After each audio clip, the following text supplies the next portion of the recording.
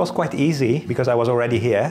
And so I knew many of the students, and even if they were like a year ahead of me, um, it just kind of felt family.